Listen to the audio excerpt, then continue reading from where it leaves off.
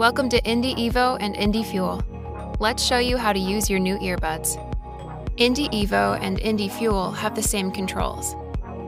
At this time, turn on your device's Bluetooth and look for Indy Evo or Indy Fuel in your list of available Bluetooth devices. Select Indy Evo or Indy Fuel on your device and accept any pair or OK prompts that appear on your screen. When pairing is complete, a voice prompt will say, Connected.